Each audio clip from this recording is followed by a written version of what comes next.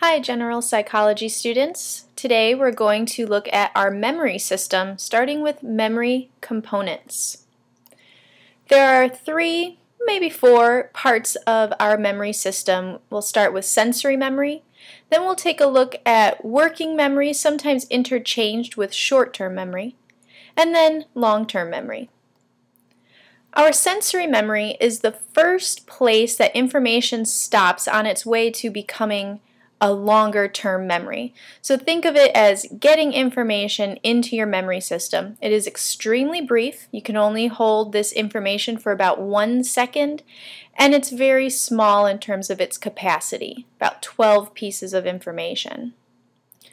Once information has made its way through the sensory memory, we get it into our working memory. And anytime you are thinking about something, you're using your working memory. So if you're consciously thinking, that's your working memory at work. And the length of it can really be as long as you can hold your attention. And let's go ahead and test the capacity of our working memory. So I'd like you to pull out a piece of paper and a pen or pencil. And I mean it, go ahead and pause me and get a pen or a pencil and a piece of paper. Now that you have your materials, I'm going to read you some sequences of letters. After I've read it, I'll say go, and I want you to write down the sequence as best as you can, so exactly the same order that I have read it. Don't write it while I'm reading, that's not testing your memory, but wait until I say go. So we'll start with the first one.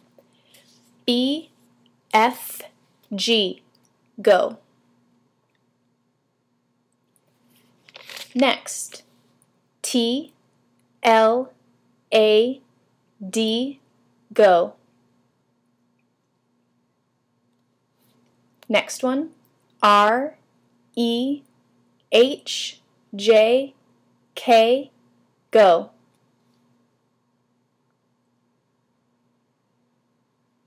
Next one, P, L, W, O, R, S, go.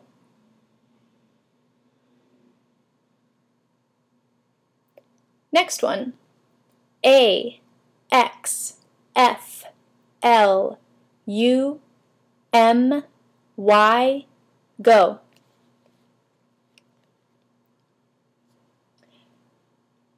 Next one. E, O, G, K, P, Z, I, G, go.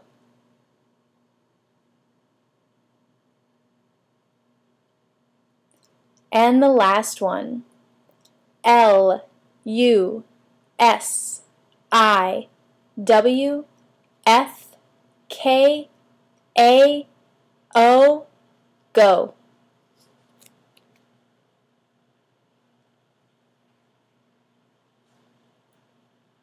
Okay, let's see how you did. Here are the strings of letters that I read.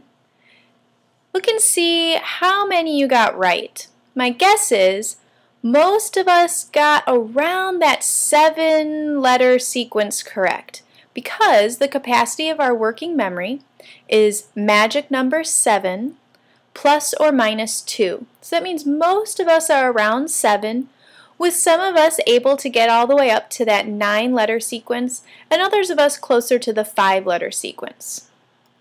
So for working memory, again this lasts as long as you can hold your attention on something and it's about seven pieces of, of information and capacity. And the way we keep information in our working memory is we rehearse it. We go over and over and over it. So when I was reading the letters, you were probably trying to quickly say the sequence in your head in order to try to retain it in your working memory. Another way that we can keep information in our working memory is to associate it with existing memories. So link the new working memory information to other short-term or perhaps long-term memories. Now when we look at short-term memory, this is short, like working memory. Uh, it's about seven pieces of information, also like working memory, and it is quickly forgotten unless it is rehearsed or repeated and then transferred into long-term memory. So that's also very similar to working memory. Now when we look at our long-term memory system, the length is indefinite. So we could hold a piece of information basically for as long as those cells in our brains are alive. And the capacity of our long-term memory is virtually limitless because we can hold billions of pieces of information and we will never tax the capacity of our long-term memory systems in our lives. So here's a summary of the components of our memory from sensory memory to working memory, then short and long-term memory.